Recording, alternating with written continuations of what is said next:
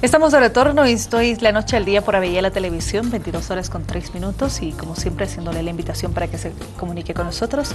720-5222 es el número de WhatsApp habilitado para que nos escriba y participe del programa. Es importante siempre aquello. Hoy estamos, y lo habíamos anunciado, vamos a referirnos a este proyecto de ley. Ha sido aprobado en grande y en detalle en la Cámara de Diputados. Ha pasado a la comisión también el tratamiento respectivo de esta jornada aprobada y el día de mañana en el Pleno de la Cámara de Senadores también se aborda ese tema. ¿Cuál es la situación de este proyecto de ley que va a permitir, va a garantizar la implementación del sistema único de salud en el país. Eh, se tenía que trabajar en determinado momento con el colegio médico, presentaron un documento de tres hojas, luego presentaron otro documento a la sociedad civil, un documento donde ellos consideran que tiene que elaborarse, ya que este proyecto de ley es simplemente un parche, así lo han mencionado, y no va a responder a lo que se necesita en el país. Bueno, vamos a hablar de este tema y hoy está con nosotros el senador del Movimiento al Socialismo, Ciro Zavala, a quien le damos la más cordial bienvenida. Senador, es un gusto, buenas noches. El gusto es mío, obviamente. Estar ah, de la noche al día es realmente algo muy interesante, muy bonito y muy buenas noches a toda la teleaudiencia de este prestigioso programa y canal. Em, expresarte que eh, no hemos entendido desde el inicio cuál es el objetivo de una oposición tan grande a esto, que es dar vida y quitarle los grandes beneficios que tiene la muerte cuando uno no le presta buena salud.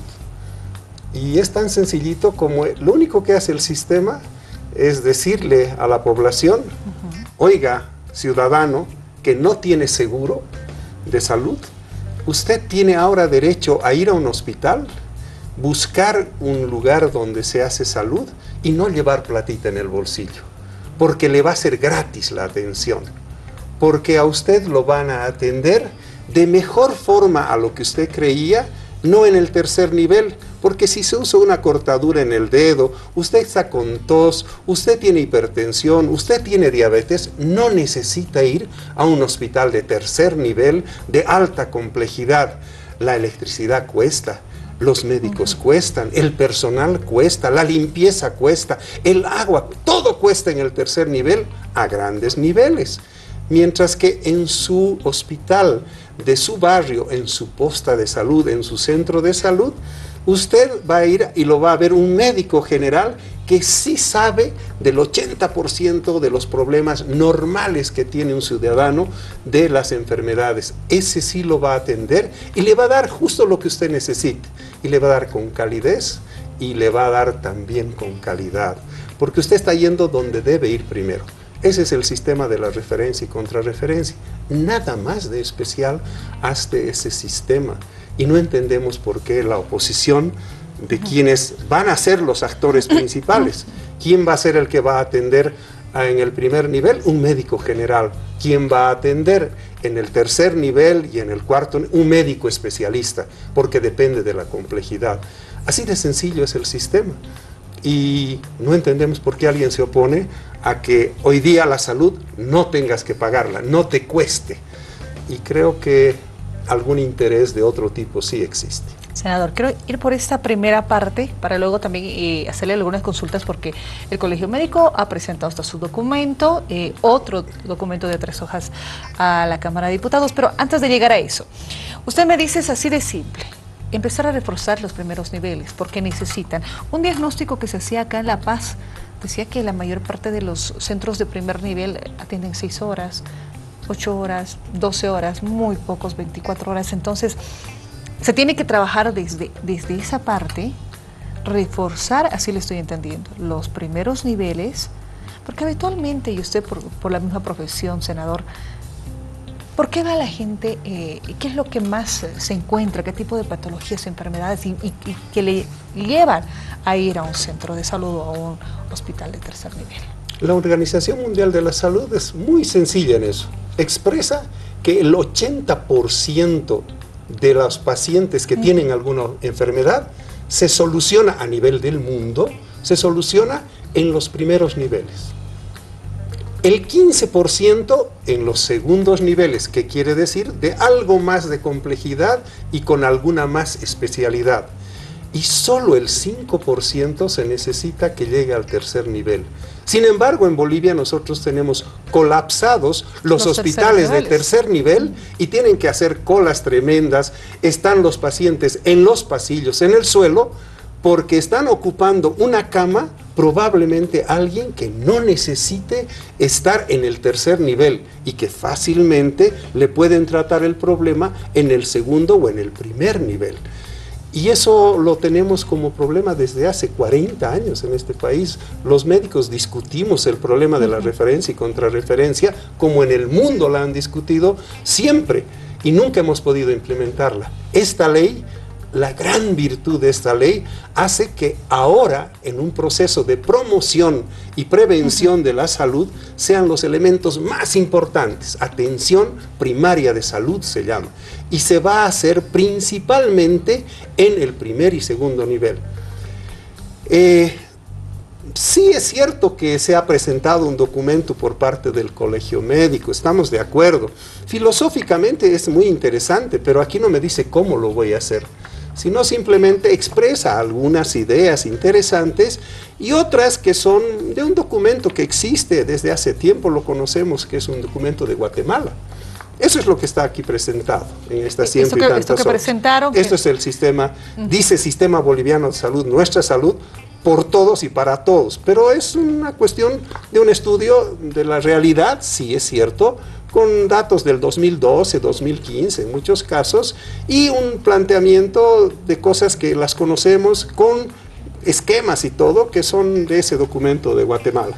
¿Qué dice eh, este, este documento de los planteado por el Colegio Médico? Así de manera general, porque me dice son datos generales, evidentemente muestran la realidad, pero no hay una respuesta inmediata a, le estoy entendiendo, a lo que se necesita. Aquí no hay ¿Cómo deberíamos empezar el sistema único de salud? No hay ni un solo artículo de una ley. Y lo que estamos trabajando y lo que estábamos discutiendo es una ley. Aquí no veo ninguna ley. ¿Qué nos dice esta propuesta? Simplemente te voy a preguntar así, marco legal Constitución política del Estado. El Estado garantiza a las personas y colectividades sin discriminación alguna el libre y eficaz ejercicio del derecho a la salud establecido por la Constitución y los tratados internacionales y de los derechos humanos. Acceso a la salud con los fines y funciones esenciales del Estado debe garantizar el acceso a la personal de salud. Eh, autoridades de salud, eh, código de salud, eh, situación demográfica, hace un análisis de las poblaciones con los datos del censo del 2012 de cómo estamos organizados poblacionalmente. Dice antecedentes de las condiciones sanitarias. Nos empieza a hablar de cómo estamos en salud hoy día y empieza a ver el tema del cáncer, el tema a nivel del cáncer en general, hace un cuadro de las enfermedades cardiovasculares, un cuadro de la epilepsia, un cuadro de los episodios de depresión y ansiedad, un cuadro de hipertensión arterial, un cuadro sobre enfermedades reumáticas y así. Eh, todos son cuadros de diagnóstico de cómo estaría el país estadísticamente hablando en eso. Eh, todos sabemos que la estadística en Bolivia no es nada buena y no nos sirve de mucho. Eso no quiere decir que no, que no nos ayude, pero eso es lo que tenemos, ¿no es cierto? Y luego hace un mapeo de todo lo que es eh, qué características tienen las enfermedades por municipios. Le llamamos EDAS, IRAS y demás, que tienen que ver con enfermedades diarreicas, respiratorias y todo.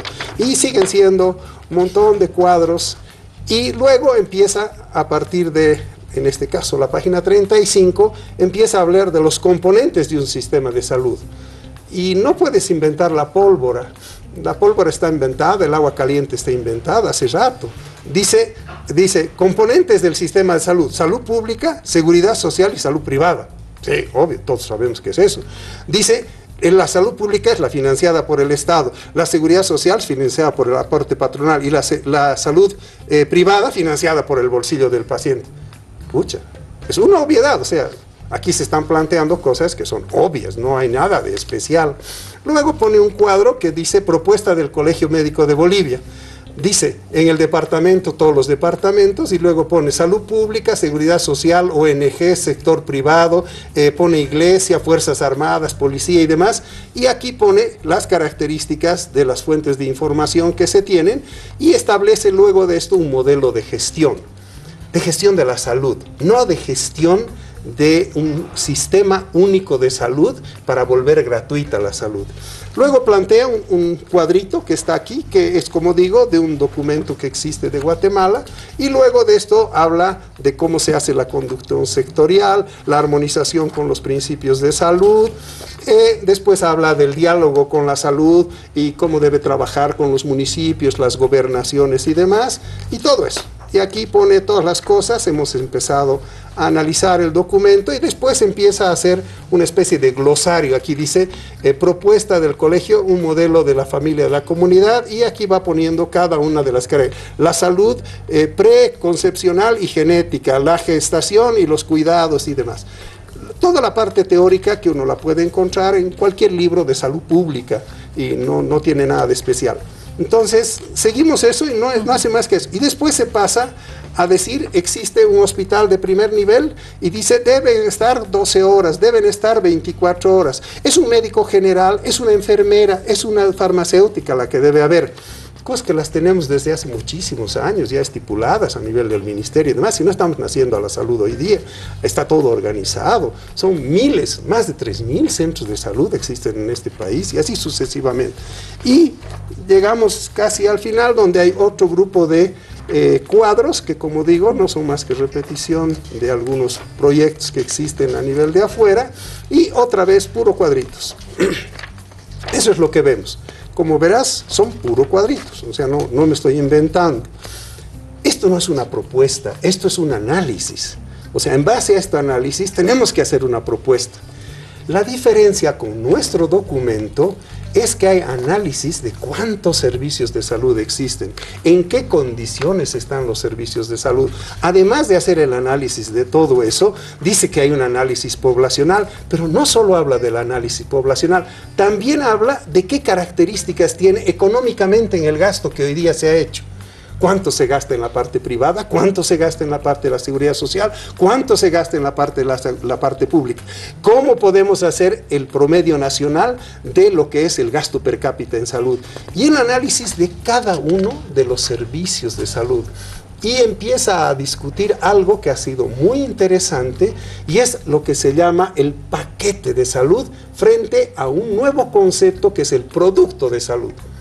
Cuando hablamos de paquete, cuando tú te enfermas y tienes una neumonía, por poner un ejemplo, pues en el mundo todos sabemos que una neumonía tiene tales características. Tienes que hacer el diagnóstico a través de una radiografía, tienes que hacer el diagnóstico a través de una consulta, tienes que hacer el diagnóstico a través de un laboratorios y así. Y cada uno de esos tiene costo. Luego de eso tienes que hacerle el tratamiento y entonces le tienes que dar un antimicrobiano, le tienes que dar un antitusivo, probablemente le tienes que dar algunas otras cosas, lo tienes que hidratar y además muchas cosas. A este se llamaba, este se llamaba simplemente el costo de la salud.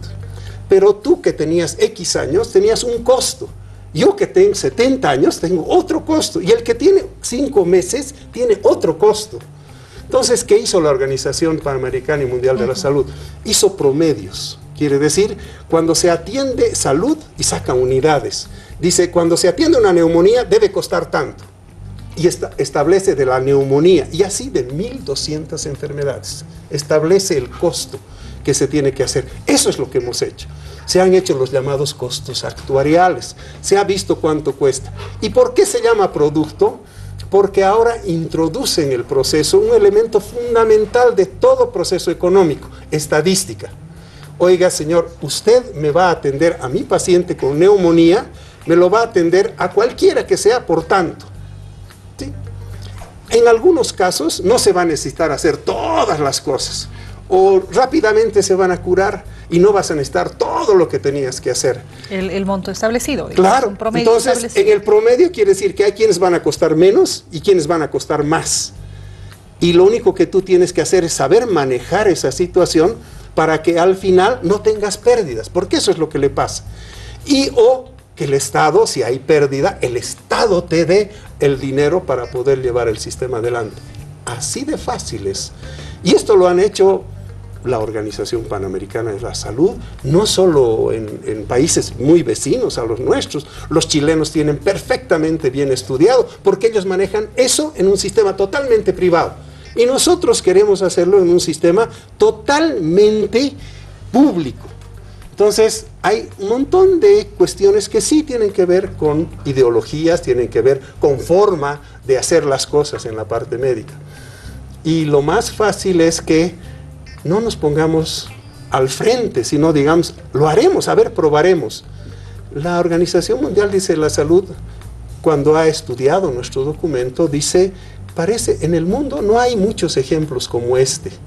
Y si se, logra darse en que de ahora, primero de marzo, al eh, X del mes de octubre, se logra que esto funcione, funcione. Paulatinamente, progresivamente, es un éxito impresionante, dicen ellos. Senador, hay unas observaciones puntuales que hace el Colegio Médico, ¿no? Bueno, ahí está la propuesta, gracias por desarrollárnoslas. Pero hay un tema que ellos manejan y dicen, acá eh, está bien, no es que nosotros como colegio médico estemos rechazando, sí se tiene que implementar un sistema de salud. Es interesante que ellos participen activamente, bueno, no lo están haciendo, pero ¿qué, qué piden? El presupuesto no es el suficiente. Existen todavía el tema de, deudas con otros hospitales que el gobierno no está pudiendo cubrir, entonces menos con los 200 millones que se está planteando. El tema de los ítems. ¿Se puede manejar con todo esto el, Sistema Único de Salud el 1 de marzo? ¿Podrá trabajar esto? ¿Y cómo responden a estas observaciones que hacen ellos? ¿Y quién ha dicho que el, que primero de marzo van a haber 5 millones de personas que van a caer enfermas y van a ir a necesitar los sistemas de salud? Todos sabemos que un seguro de salud, eh, que además, permíteme hacer la diferencia, dicen es un seguro, además un, un burdo seguro, ¿no? No es un seguro. En el seguro tú pones de tu plata y te aseguras, y pones tu plata y exiges que te den el servicio. Este no es un seguro, es un sistema donde no pones un centavo y el Estado, que hoy día sí tiene el dinero pero que hace 15 años no tenía un centavo y éramos mendigos, hoy día sí tiene el dinero, porque han pasado años de que este país ha mejorado, se ha superado y hoy día tiene hasta producción para poder sostener esto. Plantear un sistema único de salud hace 15 años, 20 años, en un país mendigo, ¿cómo se hace? Si la salud cuesta en cualquier parte del mundo, si no viene de regalo de Dios, no es el maná que cae del cielo, no, cuesta un equipo, un medicamento, un profesional, cuesta y muchísima plata. Han habido sistemas de salud que casi hacen quebrar a países enteros y han tenido que ir para atrás porque no les daba el cuero económico. ¿Es sostenible como se está planteando? ¿Es el suficiente monto? No lo decimos nosotros, acaba de expresarlo en otros canales de televisión los personeros de la, de la, de la OPS a decir que para ellos con 200 millones podemos perfectamente comenzar. Y nosotros hemos dicho, no solo tenemos 200, tenemos 2 mil millones, no solo 200. 200 es solo para este tiempito mejorar las cosas del tercer nivel, para nada más. Y tratar con los otros 2 mil millones de mejorar y construir y terminar toda la infraestructura del tercer y el cuarto nivel. Los 200 millones para el primer nivel. Correcto. Solo, los 200 millones es estrictamente para el manejo a nivel del primer y segundo nivel, en lo que es infraestructura, en lo que es mejoramiento de todo lo que corresponde a equipamiento, que tampoco es extraordinario, porque para hacer un diagnóstico, yo siempre me pregunto como médico, y veo mi consultorio, mi consultorio cuando lo tenía, y yo no tenía grandes cosas, no tenía más que mi estetoscopio, tenía mis cosas y punto. ¿Qué cosas tienen los médicos en sus consultorios para llegar a un diagnóstico? Y entonces, no tienes nada. ¿Por qué exige ahora que en el, en el primer nivel tenga todo? Al extremo de que alguien ha dicho, a ver, voy a ver que cuando me enferme voy a ir al primer nivel a ver qué me hacen en tomografía. ¿Cómo va a haber primer nivel tomografía? Y no puedo creer que eso lo diga un colega, porque supongo que sabe algo sobre la medicina. Y así sucesivamente. Entonces aquí el tema es muy claro. Hay una oposición con un interés muy claro Hagamos una suposición, planteemos un escenario del mes de octubre, el mes de agosto, el mes de septiembre, el mes de junio, donde el sistema esté funcionando y esté funcionando como corresponde. No va a ser una maravilla, nos falta muchísimo y demás, pero va a empezar y va a funcionar. ¿Cómo será la votación en ese momento? ¿Qué estará pensando el opositor? Y el opositor no le interesa, mezquinamente no le interesa que hayan más muertos o más vivos, lo que sea. Lo que le interesa es que en la votación de octubre le vaya mal al más. Eso es lo que le interesa. Esa es una posición para mí personal muy mezquina, porque si no tendríamos que apoyar el sistema. Senador, quiero aprovechar y estamos revisando algunos mensajes que nos llegan por las redes sociales y la consulta es la siguiente, estaba revisando entre muchas de ellas. Yo puedo acceder, dicen ellos, qué tipo eh, de, atención voy a tener. Si nos ponemos en un ejemplo, es primero de marzo y soy una persona y tengo que llegar. ¿Cómo va a ser mi atención? Y hoy otras que nos dicen, nos hablan de 1.200 prestaciones. ¿A qué me refiero con eso? Ah, muy bonita pregunta, ¿no es cierto? La Organización Mundial de la Salud en el mundo entero ha dicho que cuando tú haces un evento de salud, yo te tengo que prestar servicios. Por ejemplo, una prestación de servicio es hacerte el laboratorio, tu hemograma, quiere decir el estudio de tu sangre para saber si tienes infección o no. En la segunda prestación que te tengo que hacer, tengo que hacerte una radiografía de tus pulmones para saber si tienes neumonía. La tercera prestación que te tengo que hacer es ver a través de la consulta qué es lo que pasa con tus pulmones escuchando con mis aparatitos. La otra prestación es, tengo que hospitalizarte si es que necesitas, ponerte en una cama, hidratarte, ponerte los medicamentos y demás. A eso se le llama prestaciones. Y esas prestaciones están determinados sus costos. Y por lo tanto, cuando unes las prestaciones en conjunto para el tratamiento de la neumonía, a eso le llamamos paquete. Ese es un paquete. Este paquete Ese paquete producto que me decía. Sí, y no lo hemos inventado nosotros, ya lo hicieron los del SUMI, que entre otras cosas lo hacen en la época del MNR en muy buen nivel. Eh, ya nos dijeron, yo dirigí el hospital en esos tiempos y cuando me dijeron que tal prestación de servicio costaba tanto, yo les dije, están locos, eso no puede ser. Hasta que me di cuenta haciendo un estudio del costo unitario de las acciones que hacíamos, que tenían razón y que a tal extremo que pasó el tiempo y tiempo después el hospital materno infantil de Cochabamba era un hospital que tenía un montón de plata de lo que le pagaba el municipio. Pero en esos tiempos el municipio pagaba. En estos tiempos, no sé por qué se dice que el primer y segundo nivel es el Estado el que paga. La ley no dice eso, es el municipio. Y los que no cumplen son los municipios. Y si te empiezas a fijar cuáles son los municipios que no cumplen y donde tenemos los más conflictivos, son municipios que no están en nuestras manos políticamente hablando y lo podemos demostrar. Entonces algo pasa, ¿no? Y supongo que hay boicot, se nota que hay boicot y no creo que sea correcto hacer boicot, hacer política con la salud, me parece verdaderamente un crimen. Senador, le decía la otra consulta. ¿Cómo ve el ciudadano eh, en la práctica esto de, del SOS? Eh, lo que nosotros queremos, ya tenemos un pequeño vislumbrar un éxito en el número de personas que se han inscrito. ¿sí? Hay poblaciones, por ejemplo, para que sepas, y que lo sepa nuestra, nuestra uh, audiencia, teleaudiencia, es Chuquisaca es uno de los lugares donde mejor está. Ahora implementamos en Chuquisaca el SUS y va a funcionar, porque hace mucho tiempo que trabajan en eso. Tarija lo empezó a hacer y tuvo fracasos, y así sucesivamente. Pero hay ciudades que se olvidaron de eso. Hay ciudades que no hemos mejorado en nada. Y entonces hoy para el SUS es muy fácil. Se han inscrito. En Chuquisaca no han necesitado inscribirse, ya estaban inscritos. Todos tienen por sus regiones, aquí está el municipio, aquí está su otra región, aquí está su centro de salud y demás. Hay otros lados que no han hecho absolutamente nada. Creemos que cuando estemos organizados en ese sentido es lo más sencillo. Llevas tu carnet, tu fotocopia de carnet, la presentas y además tu boletita para que diga de qué municipio eres, para que sepas en qué calle vives, dónde vives y para que te inscriban. Porque también nos hemos puesto a pensar, yo vivo en Viacha, pero quisiera que me atiendan en Cotauma. Entonces me, agarro y me hago anotar para Cotauma. ¿Estará correcto? ¿Servirá? ¿Ayudará al proceso? Y creemos que eso es lo que falla. Lo que más falla en nuestra población es lamentablemente el proceso educativo. Decirle a la persona, no necesitamos jugar uh, con cartas falsas, no necesitamos hacer cosas falsas, te vamos a atender donde necesiten. Va a haber un hospital de cuarto nivel, va a haber un hospital de tercer nivel y puede ser que hayan varios hospitales de acuerdo a la población, porque todo, todo, el puestito de salud, el centro de salud, el hospital de segundo nivel, todo es poblacionalmente dividido. Y lo dice la Organización Mundial de la Salud. Tantos, tantos habitantes, mil habitantes, un centro de salud. Un, un, pequeño, una posta de salud.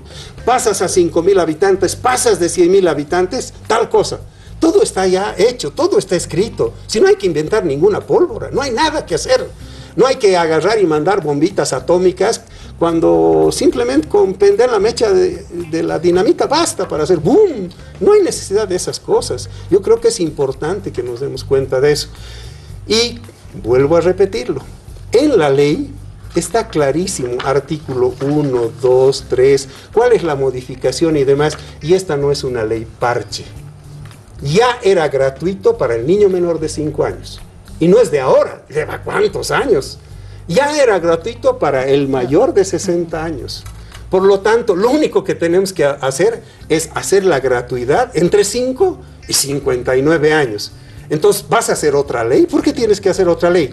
Lo único que tienes que hacer es modificar la que existía, se llamaba Ley 475, que hablaba de 0 a 5 años, más las madres con sus problemas del embarazo, más los problemas de las enfermedades sexuales, y después pasarte a los 60 años, más los discapacitados, y lo único que hacer en esta partecita. Lo que quiere decir hacer otra ley para eso, no. Aumentale a esa ley más toda la experiencia de lo que ha fallado en estos otros dos, que así está colocado toda la experiencia de tantos años del manejo del nuevo sistema, aquí está ahora. Antes era tanto pone, quién pone la plata, cómo se hace. Ahora ya las alcaldías tienen la obligación. Antes el 20% de las alcaldías gastaban algo de su presupuesto. Y de todas las alcaldías, solo el 20% era el gasto en salud. ¿sí? Ellos tenían que invertir el 15.5%. Solo el 20% de las alcaldías invertían esa, esa, cantidad. El resto no invertía casi nada. De hecho, los alcaldes se dedicaban a poner cemento por todas partes, pero no a dar salud. Hoy día no. La ley dice que es obligatorio y la tiene que cumplir porque si no será sancionado. Y así dice muchas cosas y las vuelve obligatorias. Ya no es simplemente aleatorio. Si quiere el alcalde porque pertenece a este partido, pertenece al otro, o va a tener quien lo apoye y demás, no, ahora no, tiene que cumplirlo. Y es el pueblo, porque existe un sistema de control social, el pueblo quien tiene que ser el que más le importe que se le dé salud. Y él tiene que ser el que haga funcionar el sistema. Senador, esta ley con estas eh, modificaciones que ustedes están planteando, eh, tiene que ser tratada mañana en el Pleno de la Cámara. Mañana, a partir de las 4 de la tarde, que uh -huh. nos han citado a sesión, uh -huh. eh, estaremos allá para poder... Eh, ya esto ha sido tratado esta mañana en la comisión. Claro. Ha venido el viceministro, han venido los expertos, han venido todos los que saben sobre el tema a explicarnos cómo va a funcionar el sistema y han recibido por parte de la oposición cientos de preguntas. Ha durado increíblemente nuestra sesión de comisión y se les han hecho las preguntas y el viceministro y los expertos allá han agarrado y les han explicado a todos el por qué cada uno de los eventos y las cosas, con documentación, con todo lo que es información como corresponde. Y bueno, nosotros hemos quedado muy contentos porque creemos en algo que sí va a funcionar. Nos ha llamado la atención, todos estábamos después de semejante cantidad de preguntas y demás y semejante respuestas que recibían, creímos que la oposición por lo menos iba a decir algo. Ni siquiera levantó la mano ni para decir no nos sirve ni nada. O sea, ahí parcos totalmente fuera de contexto, después de haber recibido toda la información. Y uno dice muchas veces, ¿para qué se les da toda la información si al final van a hacer lo mismo? Tienen la instrucción de arriba que hay que molestar, embromar, y por lo tanto, ¿para qué vamos a ir adelante? A veces nos sentimos realmente bien cuando tenemos dos tercios y no tenemos nada que discutir, levantamos la mano, pues no podemos levantar el pie ni un ojo simplemente, y listo, se termina la discusión y se aprueba una ley, de lo cual se queja la oposición. Pero bueno, a eso nos llevan en muchas oportunidades, porque no entienden razones. En pleno se trata entonces. Veremos qué ocurre el día de mañana y a partir de ahí, con esta ley ya, ya se garantiza, el senador, la implementación de la misma. Esta ley es para que se implemente el subsistema único de salud para la población. Y lo único que hace es decirle a la población, no necesitas hoy para ir a hacer salud, para que te den salud, plata. Por lo tanto, nunca te vas a morir porque te faltó plata lo que sí hoy día pasa en casi todos nuestros hospitales públicos. Quiero agradecerle por habernos acompañado, senador. El agradecido soy yo y sobre todo la parte importante, que nos den la oportunidad también para que la población conozca de la verdad, de la realidad y no de las elucubraciones ideológicas, políticas y demás, porque no venimos a hacer eso. Hemos estado dirigiendo la Comisión de Salud por algún tiempo, más de tres gestiones, y creemos que nos ayuda esto. Hoy día ni siquiera estoy en la Comisión de Salud, participo y demás, estoy en la Comisión de Constitución, presido la Comisión de Constitución, pero estamos muy interesados en que esto funcione, porque eso es lo que yo hago como médico, tratar de salvar al paciente, salvar a la comunidad, salvar a la familia y no hundirla porque políticamente me conviene. Muchas gracias. Hemos estado con el senador eh, Ciro Zaval en los estudios a propósito de la ley 475 para la implementación del Sistema Único de Salud. Vamos a una pausa y retornamos.